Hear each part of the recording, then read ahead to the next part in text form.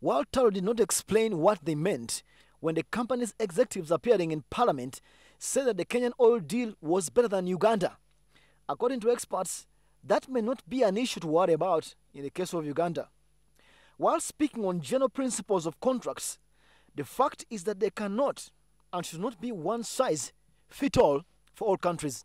It isn't one shoe that all feet are going to fit in. Each contract is going to be different. And so you're going to want to be sure that you have evaluated the unique issues of your situation from whatever side you are, whether you're the government, whether you're the contractor. In effect, you cannot entirely compare two countries' oil contracts.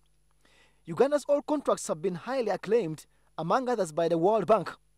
Today, officers of the Solicitor General's Office, Finance Minister and Tullow were undergoing training on negotiating and dealing with oil related contracts organized by the Uganda Securities Exchange.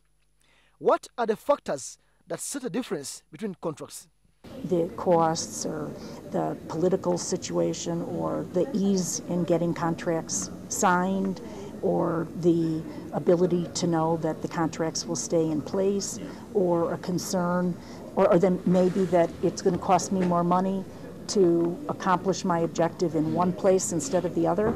Strengthening Uganda's contracts expertise is indispensable because while best practice is recommended, locals who understand the country's uniqueness are a must.